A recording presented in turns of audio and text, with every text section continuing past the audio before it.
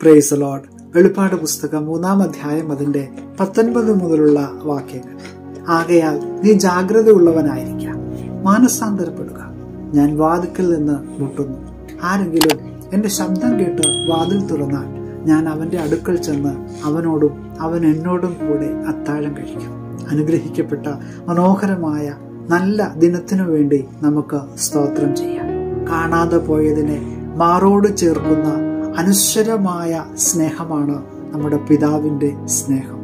അവന്റെ വാക്കുകൾ ഇന്ന് നമ്മുടെ കാതിൽ മന്ത്രിക്കുകയാണ്. നമ്മുടെ ഹൃദയത്തിന്റെ വാതിലുകൾ നമ്മുടെ ഹൃദയത്തിന്റെ ആ കവാടങ്ങൾ ഒന്ന് തുറന്നു കൊടുക്കുവാനായിട്ട് തയ്യാറാണെങ്കിൽ ഇന്ന് അവൻ നമ്മോട് സംസാരിക്കുവാൻ റെഡിയായിട്ട് നിൽക്കുകയാണ്. പ്രിയമുള്ളവരെ കരുണയുടെയും ആർദ്രതയുടെയും കരുതലിന്റെയും ഒക്കെ സ്നേഹം വിളിച്ചറിയിക്കുന്നതാണ് ആ ദൂർത്തപുത്രന്റെ ഉപമ എന്ന് നമുക്ക് അറിയാം. അവിടെ ദൂരേക്ക് കണ്ണും നട്ടിരിക്കുന്ന ഒരു പിതാവിനെ നമുക്ക് കാണുവാൻ കഴിയും. അതെ തന്റെ പിതാവിൽ നിന്ന് പാപം ചെയ്ത് ദൂരേക്ക് അകന്നുപോയ ആ മകന്റെ തിരിച്ചു വരവിന് വേണ്ടി പ്രതീക്ഷയോടെ കാത്തു നിൽക്കുന്ന ഒരു പിതാവ്.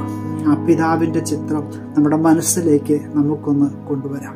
ദൈവത്തിൽ നിന്ന് പാപം ചെയ്ത് ദൂരേക്ക് ദൂരേക്ക് അകന്നകന്ന് പോവുകയാണെങ്കിൽ ഈ ഒരു ശബ്ദം നിന്നോടും ഇന്ന് വിളിച്ചു പറയുകയാണ്.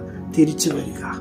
നിന്റെ ഹൃദയത്തിന്റെ കവാടം എനിക്ക് വേണ്ടി ഒന്ന് തുറന്നു തരികയാണെങ്കിൽ ഞാൻ ഉള്ളിലേക്ക് കടന്നു വരാം. അപ്പ സ്വർഗത്തോടും നിന്നോടും പാപം ചെയ്തു. ഇനി നിന്റെ മകൻ മകനെന്ന് വിളിപ്പാൻ ഞാൻ യോഗ്യനല്ല എന്ന് ആ മകൻ ഉറക്കെ കരഞ്ഞുകൊണ്ട് തന്റെ പിതാവിനെ കെട്ടിപ്പിടിക്കുമ്പോൾ അവനെ മാറോട് ചേർത്ത് നിർത്തിക്കൊണ്ട് അവനെ കരുതുന്ന ആ ഒരു സ്നേഹം.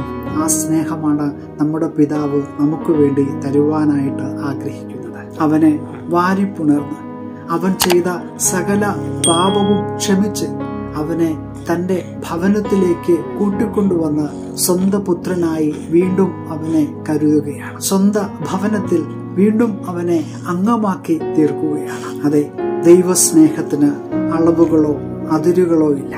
ദൈവസ്നേഹത്തിന്റെ നീളവും ആഴവും വീതിയും അറിഞ്ഞവർ ആരാണുള്ളത്?